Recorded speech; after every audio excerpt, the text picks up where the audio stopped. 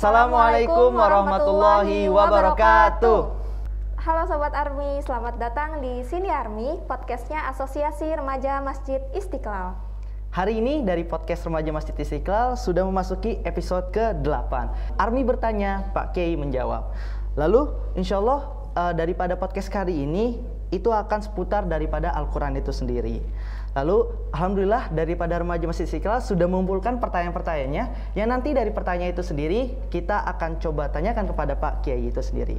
Lalu sebelumnya uh, tak kenal maka kenalan dulu kita. Lalu perkenalkan teman-teman atau kawan-kawan semuanya, kami di sini berdua sebagai moderator, saya Iqbal Ramadan dan saya Dwi Agustin. Kami berdua akan menjadi pemandu atau moderator daripada podcast hari ini. Lalu kita kenal-kenalan dulu ya daripada narasumber kita yang hari ini. Beliau bernama Pak Kiai Haji Bukhari Sail Atahiri LCMA. Beliau di Istiqlal sebagai Kepala Bidang Penyelenggaraan dan Peribadatan. Wah, Masya Allah Masya banget ya Allah, narasumber kita hari ini, iya. yaitu dari Istiqlal sendiri. Beliau salah satu petinggi daripada Masjid Istiqlal itu sendiri, iya. ya gitu. Uh, nah, Sobat Army, Alhamdulillah Pak Kiai sudah berada di tengah-tengah kita. Langsung saja kita sapa. Assalamualaikum Pak Kiai. Waalaikumsalam warahmatullahi wabarakatuh. Bagaimana Pak Kiai kabarnya? Uh, kabar baik, alhamdulillah. Alhamdulillah. Terima kasih Pak sudah meluangkan waktunya uh, bersama Army di podcast Sini Army. Uh, berbicara tentang tema yang tadi sudah dijelaskan oleh Bang Iqbal, ya. Al-Quran merupakan firman Allah yang uh, diturunkan kepada Nabi Muhammad sebagai pedoman hidup manusia. Ya. Nah, menurut Pak Kiai, uh, Al-Quran itu seperti apa sih Pak? Al-Quran adalah kalamullah kalamullah yang diturunkan melalui malaikat Jibril kepada Nabi Muhammad SAW untuk umat manusia. Al-Quran adalah uh, panduan hidup. Jadi kalau Allah Subhanahu Wa Taala itu menciptakan alam semesta itu, manual booknya itu Al-Quran. Bagaimana apa tujuan Allah menciptakan alam semuanya ini? Supaya manusia ini kan tidak tahu kalau nggak dikasih petunjuk. Hmm. ya kan? Nah maka dikasih petunjuk Al-Quran diturunkan kepada kita ya melalui malaikat Jibril dan Nabi kita Muhammad SAW supaya kita jadikan pedoman hidup. Bagaimana mengelola alam ini? Dan di, di situ dijelaskan bahwa kehidupan kita itu tidak hanya di dunia. Bukan hanya mengelola dunia ini bagaimana tapi setelah dunia ini ada kehidupan lain. Nah itu yang kita harus siapkan. Itu Al-Quran jelaskan semua. Jadi Al-Quran adalah uh, pedoman hidup, manual book yang diturunkan oleh Allah untuk bagaimana kita mengelola alam raya ini dan kehidupan kita ya lahir batin ya karena kita untuk nanti sampai ke akhirat dengan selamat kita bisa hidup di hari dengan sejahtera juga itu kita siapkan di sini dan petunjuknya ada di Al-Quran semua. Masya Allah. Masya Allah banget ya. Berarti iya. tadi mention juga dari Pak Kiai bahwasanya memang Al-Quran ini adalah manual book yang bukan hanya dimensinya itu dunia saja, tapi dunia, tapi dun, tapi akhirat juga tembus iya. ya. ya. Jadi dari kita lahir, dari kita gimana sosialisasi masyarakat, pokoknya lengkap banget deh tuh yang namanya Al-Quran itu Allah kasih kepada kita iya. gitu Pak Kiai. Masya Allah Pak Kiai. Uh, apa namanya jawabannya?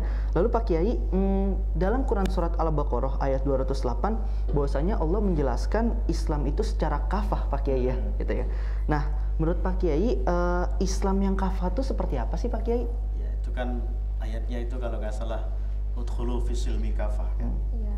Jadi kita disuruh masuk Islam secara keseluruhan, secara kafah. Uh, ayat ini kalau tidak salah ini asbabun nuzulnya itu ada seorang Yahudi atau rombongan sekelompok Yahudi yang masuk Islam yang diketuai oleh kalau tidak salah ini ya Abdullah bin Salam jadi mereka ini masuk Islam tetapi mereka masih mengagukan hari Sabtu hmm. hari Sabtu kan hari rayanya mereka itu iya yeah. ya kan kemudian mereka tidak menyukai onta hmm. artinya onta ini dianggap budayanya orang Arab ya orang Islam kemudian mereka masih mengagukan hari Sabtu eh, maka turunlah ayat ini udkhulu fisilmi kafatan masuk Islamlah secara kafah secara menyeluruh. Jangan sepotong-sepotong. Gitu. Jadi kalau kita dari budaya lain masuk Islam kita ikuti semua yang ada di Islam itu.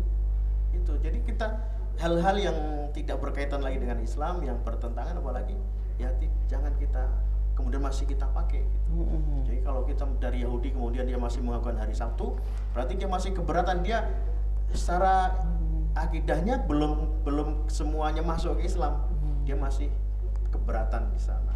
Nah, tapi kemudian ada penasir-penasir juga yang kafah itu artinya ya dalam hal akidah semuanya kafah dalam semua hal itu itu kafah bukan hanya tadi masalah masalah itu ya hmm. Iya. jadi lebih luas lagi penafsirannya artinya kalau kita masuk Islam ya uh, kita menyatakan diri kita Islam kita harus menerima ya perintah-perintah larangan-larangan apa pun itu ya, jadi tidak ada hal yang oh saya mau Islam tapi saya mau ambil ini aja dah gitu ya. oh iya iya iya yang enak aja gitu iya. tapi saya masih percaya yang dulu misalnya hmm. apa atau atau ini ada di uh, apa kebiasaan lama yang saya masih mau ini padahal kebiasaan hmm. ini bertentangan misalnya dengan Islam kalau yang nggak bertentangan tidak apa-apa hmm. budaya yang tidak bertentangan dengan Islam itu dari mana pun boleh gitu pakai boleh ya? dipakai hmm. budaya daerah-daerah Islam ketika datang ke Indonesia hmm. atau ke Nusantara ini kemudian juga mengadaptasi dengan budaya-budaya Nusantara hmm. yang tidak bertentangan oke okay. hmm. tidak termasuk itu dalam uh, mukhotob apa uh, kafah itu hmm. uh, boleh seperti itu tapi kalau hal-hal yang bertentangan oh, oke okay. siap Pak Kiai iya jadi Islam yang kafah itu yang mematuhi larangan dan perintah yang di iya, ambil semuanya yang dilarang iya. dijauhi, iya. yang diperintah dijalankan, iya. semuanya itu kafah. Iya. E, lanjut Pak Kiai, pertanyaan selanjutnya yaitu bagaimana pendapat Pak Kiai tentang Quran surat Ar-Rahman ayat 5 yang artinya matahari dan bulan beredar menurut perhitungan dan surat Ar-Rahman ayat 10 dan bumi telah dibentangkannya untuk makhluknya. Nah, banyak yang beranggapan ayat 10 ini uh, menandakan bahwa bumi ini datar, datar gitu. Iya, Jadi gitu. sebenarnya seperti apa penjelasan surat Ar-Rahman ayat 5 dan 10 ini Pak? Iya. Ar-Rahman 'allamahul Qur'an. 'Allamal Qur'an. Hmm. Khalaqal insan 'allamahul bayan. Iya. Wasyamsu wal qamaru bihusban. Bihusban.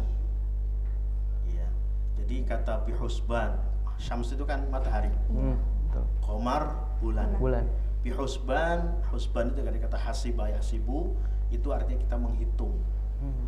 menghitung itu artinya uh, dengan uh, segala ketelitian hmm. ya yeah. ketelitian sehingga asyamsu wal kamaru bulan dengan matahari yang dalam keseharian kita lihat itu seperti kejar-kejaran hmm. ya kan iya tapi itu tidak tabrakan Masya Allah dan itu diciptakan Allah dengan cermat dengan sangat teliti sehingga ada kalau dalam ilmu falak itu ada garis-garisnya nih lewatnya sini garis yeah. edarnya yeah. ya kan ini garis edarnya ini nah, nanti satu saat matahari bulan bumi sudah tidak pada garis edar ini kiamat oh iya benar ya kan, gitu, kan? Iya. nah nah itu bihusban artinya adalah bahwa Allah ciptakan semua ini ya dengan perhitungan yang sangat cermat hmm. tidak gegabah tidak ceroboh hmm. ya kan itu kan ar-rahman surat ar-rahman itu kan berbicara tentang kenikmatan yeah. sehingga yang tujuan pertama itu ar-rahman siapa ar-rahman itu Allah ya kan halam al-Quran yang mengajarkan Al-Quran tadi way of hmm. apa namanya manual booknya manual itu book, diajarkan ya. hmm. ya kan kemudian khalaqal insan Allah yang menciptakan manusia manusia ya, ya kan alamul bayan manusia yang diciptakan di diajari, dijelaskan tentang Al-Quran itu bagaimana apa, hmm. ya kan? Kemudian dengan ciptaan alam kita disuruh uh, apa namanya merenungi matahari, bulan, bumi segala alam ini bagaimana bisa bisa insijam. Insijam itu ada keserasian. Oh, malam, uh, siang, ya kan? Kemudian uh, kalau siang itu kemudian ada sinar matahari, ternyata sinar matahari itu bisa menghidupi uh, banyak ada pepohonan yang butuh iya. sinar matahari. Hmm. ada kita juga butuh sinar matahari, ya kan? Iya, Pak. Tapi tidak selama atau segitu ada ada malam kita disuruh istirahat. Oh, iya. malam. Itu se- a- tapi ada juga binatang yang hidupnya malam. Betul. Luar biasa itu kan? Nocturnal ya Pak Kiai ya. itu dia ya Cik. Jadi itu kita disuruh merenang, merenungi begitu. Kemudian wasyamsu wal qamari dan terusnya apa? Eh, Wan najmu. wasyajaru yasjudan. Ya. Jadi itu Allah juga menjelaskan bahwa yang mengabdi kepada Allah itu bukan hanya yang di bumi, syajarah di bumi, Hmm. najm di langit. Baik yang di langit maupun di bumi itu yasjudan pada sujud pada Allah Subhanahu wa taala. Kemudian engkau manusia, jika najem saja bintang-bintang di langit itu sujud, pohon-pohon yang menurut kamu itu tidak bisa apa-apa, berarti berpikir itu sujud, lalu engkau bagaimana manusia yang aku kasih akal, yang kamu bisa berbuat apa saja, ya kan? Iya. Pak Apakah Kiai. tidak sujud juga? Ya, Masya Allah. Kemudian nanti Iya. kan ayat itu kan terusnya fabi ayi alahi rabbikum Rabbikum tukadziban ya kan? Eh, nikmat Tuhan manakah yang kau dustakan? Dengan tadi udah jelaskan seperti itu. Maka tidak ada cara lain kita itu mensyukuri nikmat Allah. Dan nikmat Allah itu tadi juga dari sejak kita diciptakan, kita dikasih petunjuk, kemudian diciptakan alam seisinya itu diciptakan untuk manusia, dimanfaatkan untuk manusia. Nah itu. Nah kalau yang ayat Ke-10. 10 itu apa bunyinya? Eh, artinya dan bumi telah dibentangkannya untuk makhluknya. Iya. Nah ini apakah itu berarti bumi itu datar? Iya gitu Pak Kiai. Iya, Pak. Lagi booming lagi nih Pak Kiai. Oh, gitu ya? Iya, naik lagi nih kasus- kasusnya, isunya. Iya memang Al-Quran itu kan eh, mukhotabnya itu kita pada saat itu kita belum belum ditemukan bahwa bumi itu bulat ya. Iya. Manusia itu kalau dibilang kalau tadi waktu itu eh, dijelaskan bahwa bumi itu bulat ribut itu. Memang yang dilihat itu bentang ya. Iya. Hmm. itu tuh. tapi kan itu batasan pemandangan kita ya kan katakanlah begini kalau kita katakan matahari terbit pagi hari jam 6 kemudian terbenam jam 6 sore kalau kita dari dari, dari ilmu alam ilmu falak yang matahari bulat apakah dia terbit terbenam dan terbit Hmm. sebenarnya kan nggak nggak terbenam nggak terbit Iya. Berputar. Sebenarnya berputar ya Pak Kiai. Iya, ya? berputar. Iya. tapi dikatakan terbit karena itu yang kita lihat Hmm. Jadi dari subjektif kita, Iya. ya kan perspektif kita, kita melihat oh pagi-pagi matahari terbit, sore terbenam, Terbenam. Iya. ya kan? Nah begitu juga Al-Quran mengatakan bumi dibentangkan, Hmm. ya kan? Iya. Dibentangkan, artinya memang membentang, tapi sebenarnya Bulan. kurawi, kurawi itu bulan, Bulat. bulan. Ya, jadi eh, apa namanya Islam itu tidak bertentangan dengan ilmu ilmu ilmu alam. Hmm. Jadi tetap kita eh, mengikuti perkembangan ilmu karena ilmu itu juga dari Allah taala. Hmm. Dari mana kalau bukan dari Allah? Betul, betul. Iya kan? Ya, kita dulu itu menasakan wasyamsu tajri li mustaqarril laha. Itu dianggap tadi karena bumi datar kemudian eh, matahari itu jalan tajril mustaqirril laha itu Hmm. dia dari dari timur ke barat ya di situ begitu Iya. ya kan tapi sekarang setelah setelah ditemukannya beberapa penemuan-penemuan tentang alam ya nggak begitu ternyata mustaqirril itu matahari berputar Hmm. porosnya gitu kan Matahari berputar, Iya, bumi bumi justru mengelilingi ya Pak Kiai ya. Iya kan seperti itu Iya. jadi penafsiran ayat itu juga berkembang Hmm. berkembang sesuai dengan itu itu jadi eh udahlah kita kita tidak tidak apa tidak membantah penemuan-penemuan Hmm. eksak itu kita membantah memang penafsiran itu ternyata oh, maksudnya ini Iya, gitu, gitu, gitu. dalam penafsiran kan oh ternyata maksudnya ini membentang itu memang membentang Hmm. kita lihat ini kan membentang nih Iya, ini membentang Pak Kiai. tapi ketika apa jauh sekali ternyata Bulat. Bulat, iya Ya kan, benar. seperti itu jadi teori itu ada ada teori sendiri yang saya kira uh, kita belajar di sekolah ya seperti yeah. itu ya. Siap, oke. Okay. Siap. Justru apa namanya argumen-argumen itu mencerdasan kita ya Pak iya, ya. Kita, Untuk iya. kita itu gimana caranya lebih bisa lagi memilah mana yang baik atau iya. mana yang benar dan mana yang salah gitu Pak ya. Iya, karena di sana ada teori gratifikasi apa gravitasi. Gravitasi ya, gitu ya. Dan lain-lain itulah yang kita harus tahu. Siap. Jangan sampai umat Islam ini malah nggak ngerti uh, ilmu alam dan seperti hanya iya. kita uh, ya jahil gitu ya. Siap Pak Kiai. Eh, Masya Allah banget Pak Kiai. Tadi bukan hanya yang ada di bumi maupun yang di langit, itu dia juga nembah. Apalagi manusia gitu yang nah, udah iya, dikasih pemikiran-pemikirannya. Nah, iya. Apalagi yang membuat kita tuh nggak menyembah Allah Subhanahu Wa Taala. Masya Allah sekali. Ayo Pak Kiai, uh, apa hikmah nih Pak Kiai dari kandungan Al-Quran khususnya peringatan manusia nih? Dalam Al-Quran yang Allah sebut tuh sering kali berulang-ulang gitu Pak Kiai. Misalnya peringatan tentang adanya hari akhir terus keterangan manusia sebagai khalifah yang harus menjaga bumi ini dan sebagainya. Gimana sih Pak Kiai? Pak Kiai melihat kayak Al-Quran itu berulang-ulang itu tandanya tuh Allah seperti apa sih Pak Kiai? Jadi berulang-ulangnya ayat maupun kisah-kisah di Al-Quran itu menunjukkan pentingnya masalah yang disebut seperti Allah seperti beberapa hadis-hadis juga uh, mangkana yu'minu billahi wal yaumil akhir fal yukrim taifah mangkana yu'mil yu'min uh, mangkana yu'minu billahi wal yaumil akhir fala yu'li jarah. Itu antara iman Allah iman beriman pada Allah dengan beriman pada hari akhir itu selalu dikaitkan. Hmm. sering sekali sering sekali dikaitkan. Kenapa? Ya karena ternyata kalau kita banyak orang yang beriman pada Allah. Artinya ada Tuhan itu beriman. Tapi pada hari akhir itu nggak beriman. Hmm. dan efeknya apa? Efeknya sangat besar ketika orang tidak beriman pada hari akhir. Hmm. akhir efeknya adalah karena tidak beriman pada hari akhir tidak beriman pada hari kiamat tidak beriman pada ada kehidupan setelah di dunia ini. Akhirnya dia dalam mengontrol dirinya di dunia ini sesuka-suka. Hmm, benar-benar Pak Kiai. Dia apa mendolimi orang. Hmm. mau karena tidak tidak yakin ada balasan nanti. Iya. Tapi kalau tahu kalau dia iman bahwa ada ya hari akhir yang akan datang dan di hari akhir itu amal ibadah kita amal baik dan buruk itu akan dihisap dihitung. Dan nanti akan dibalas dengan surga atau neraka. Hmm. mikir-mikir kan ya? Iya benar. Ya kan puasa harus berbuat baik. Kalau enggak karena sudah di sana nggak bisa lagi balik ke ke, ke dunia. Betul. Ya? Nah itu jadi jadi diulang-ulangnya itu karena memang hal itu penting.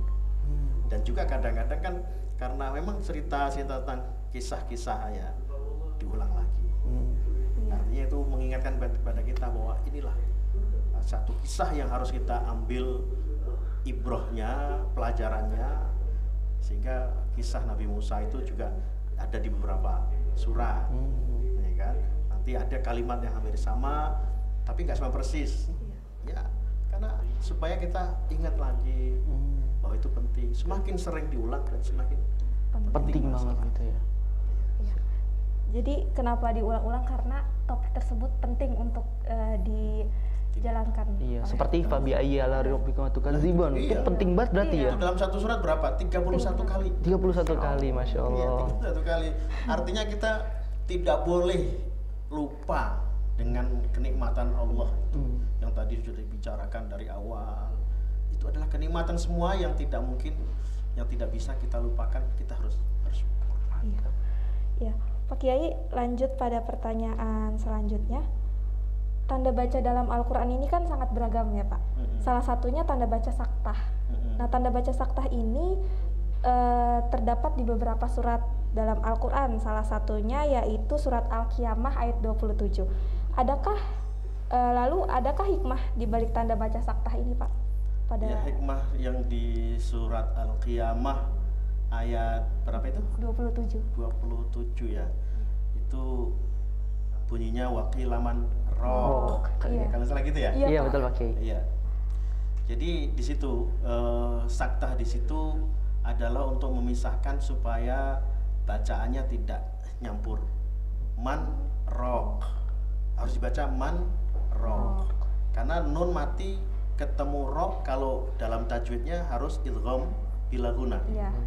Jadi bacanya marrok kalau nggak ada saktahnya. Iya. Nah, marrok itu artinya beda dengan manrok. Hmm. Marrok itu adalah orang yang keluar dari agama Islam itu. Marikun itu orang-orang yang keluar yang itu. Kalau kalau di sini man rock artinya man orang yang rock rockin ini ruqyah Hmm.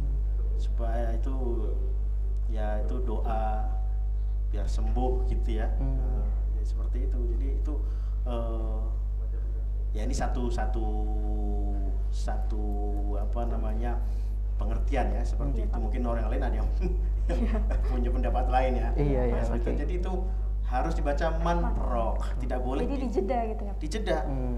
supaya tidak nyampur supaya tidak dibaca marrok. Kalau nggak ada Oh. saktanya dibaca marrok. Marok. Kalau ya. Marok mungkin eh, orang mengiranya Marok yang berarti adalah eh, orang yang keluar dari agama.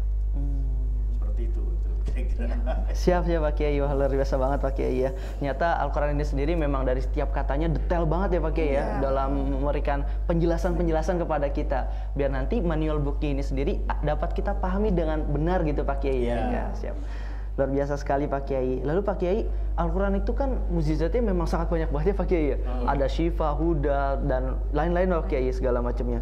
Tapi Pak Kiai, eh, kita gitu, atau Iqbal aja gitu ya Pak Kiai ya. Jadi sebagai manusia, kadang mungkin kayak lalai gitu Pak Kiai terhadap nikmat-nikmat atau mukjizat-mukjizat yang Allah kasih ke kita.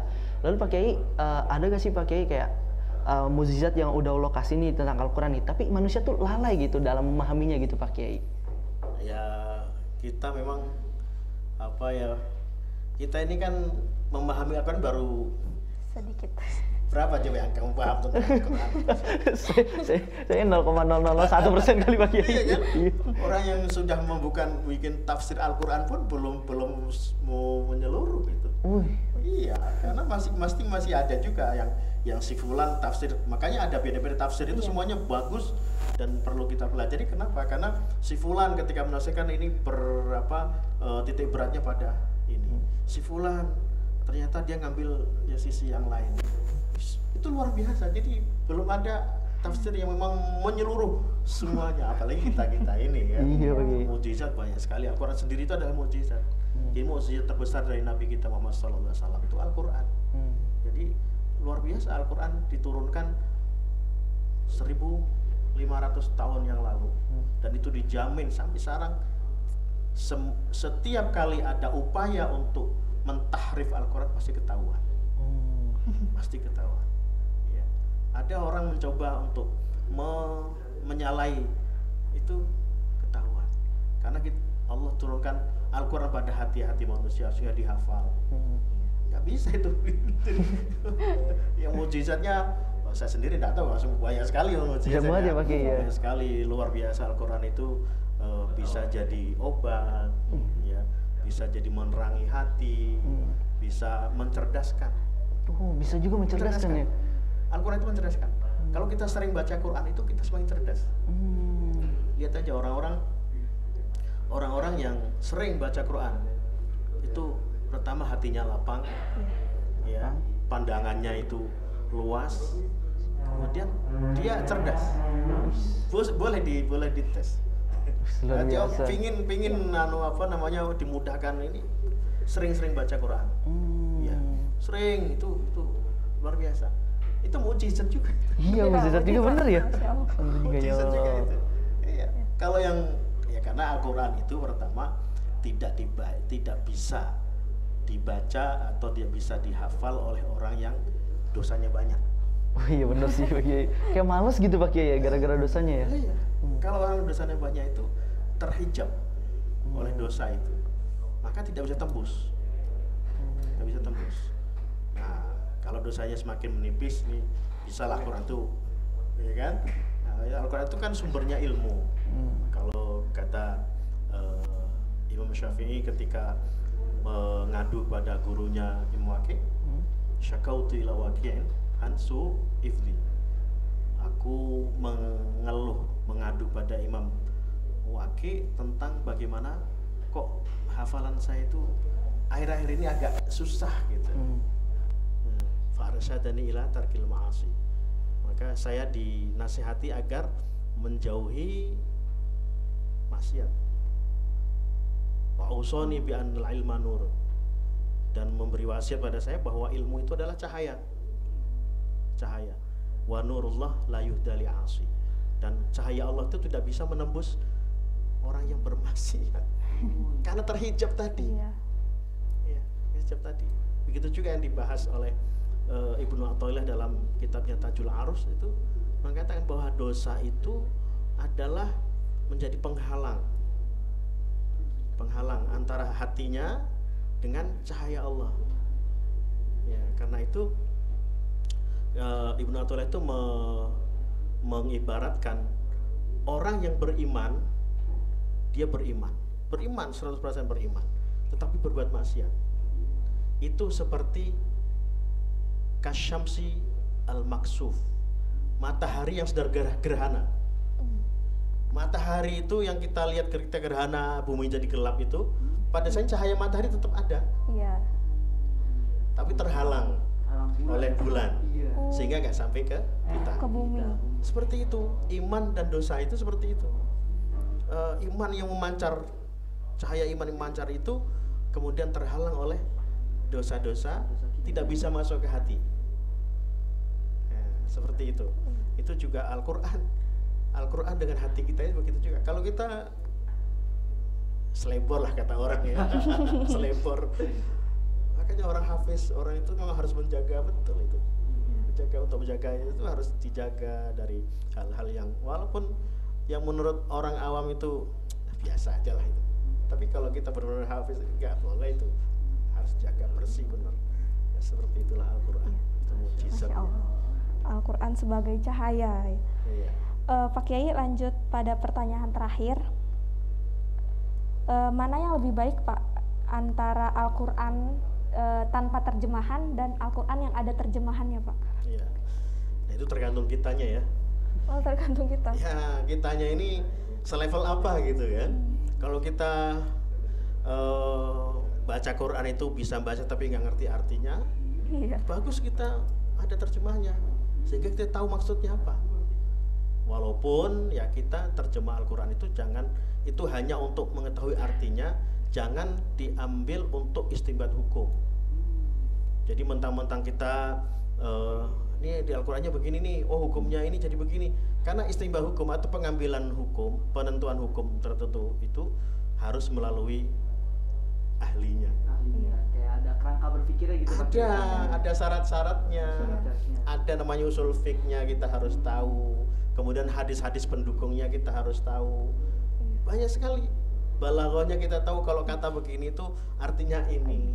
Karena terjemahan itu benar dia adalah padan kata, tapi namanya terjemah itu tidak punya tidak mungkin dia memenuhi padan kata yang 100%.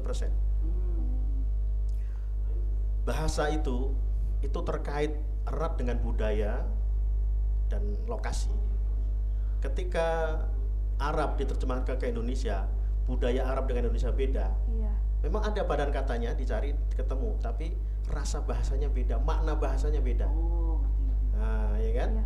Jadi eh, yang namanya terjemahan itu hanya sekedar untuk mengetahui makna atau arti terdekat lah. Iya, arti terdekat. Tetapi ketika kita ingin tahu hukum, jangan kita menghukumi, kita baca itu kemudian apa kita ambil hukum Ambil sendiri. itu ya Kita harus ya? belajar. Kalau kita mau istimbat hukum dari Al-Qur'an hadis, kita harus belajar banyak. Hafal berapa hadis? Ya Iya. kan? Ilmu hadis. Ulumul Quran, balaghah, macam-macam itu yang harus kita punya. Kalau kita nggak punya itu, jangan coba-coba, jadinya salah.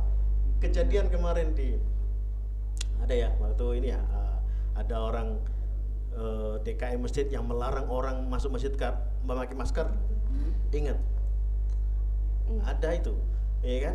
Tahu Iya, Ada ada orang masuk masjid pakai masker dilarang sama dia. Dilarang.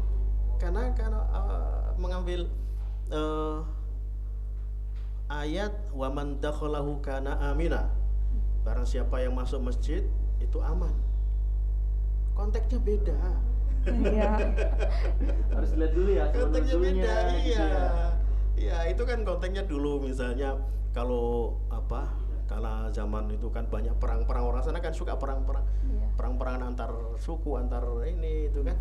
Nah orang yang masuk ke masjid itu tidak boleh diganggu.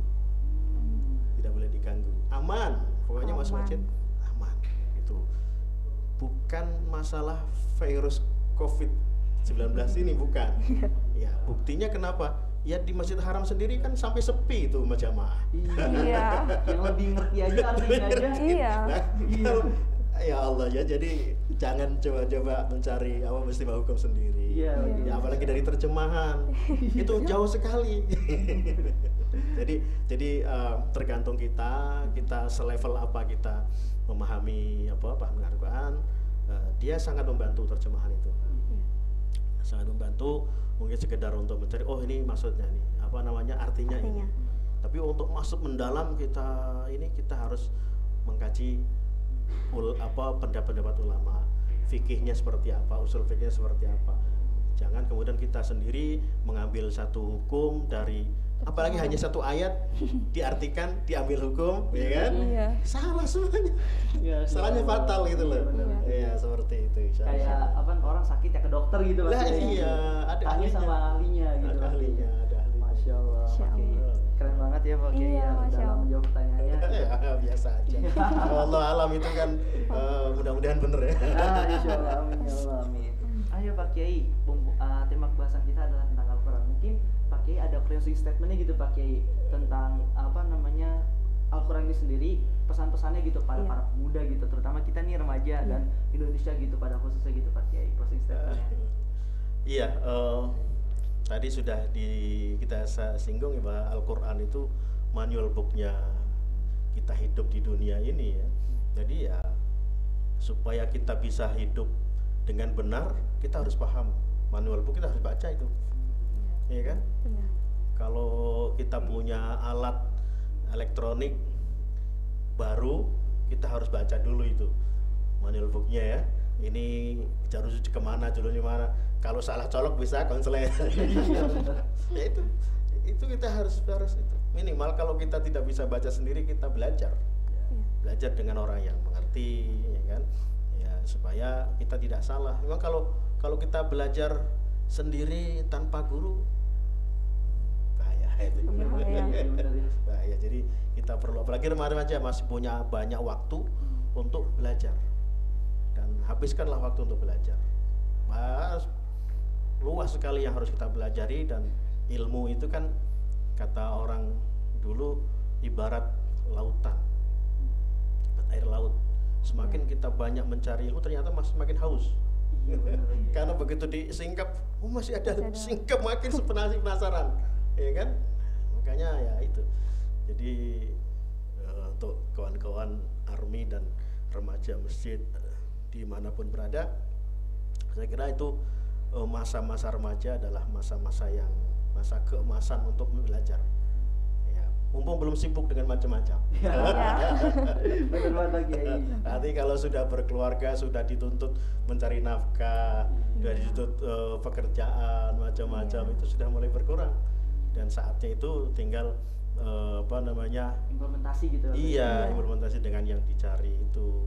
Di samping ya tetap juga mencari tapi tidak tidak lagi waktu waktu-waktu yang seperti remaja gitu. Jadi waktu remaja jangan buang-buang waktu. Jangan buang waktu, gunakan waktu sebaik-baiknya untuk belajar semua yang berkaitan dengan Al-Qur'an. Ya, kalau bisa tahfidz, hafalkan Al-Qur'an. Karena itu tadi Al-Qur'an kalau kita baca saja mencerdaskan, kalau apalagi kita hafalkan, Iya, Iya. lebih lagi Pak. Iya, itu menjaga menjaga diri gitu ya. Saya kira saya kira itu mudah-mudahan eh, ada di remaja semuanya sehat, Amin. semua bisa belajar, Amin ya bisa mendalami Al-Qur'an di mana pun berada dan dan bisa mengamalkan ajaran Islam dengan sebaik-baiknya. Dan masuk Islam secara kafah. Alhamdulillah ya Rabbil alamin. Terima kasih Pak Kiai Bukhari Sama-sama, yang telah meluangkan waktunya dan berbagi kepada kita ilmunya. Semoga kita doakan juga nih. Semoga Pak Pak Kiai keluarganya disehatkan oleh Allah. Amin. Juga diberkahi hidupnya. Amin. Semoga rezekinya juga lancar segala macamnya. Kita doa terbaik buat Kiai. Amin, amin. Lalu untuk para pendengar setia daripada podcast Remaja Masjid Istiqlal, uh, terima kasih telah menonton daripada atau mendengar ya daripada Iya. podcast Remaja Masjid Istiqlal sini. Uh, mohon maaf apabila ada kesalahan-kesalahan data dari kita Iya. dan ditunggu juga nih podcast daripada Sini Army selanjutnya. Selanjutnya. Radio Kalam, terima kasih Terima pada uh, dari kita untuk kalian yang telah menonton. Kita daripada moderator pamit undur diri. Assalamualaikum warahmatullahi Wabarakatuh. wabarakatuh. Waalaikumsalam warahmatullahi wabarakatuh.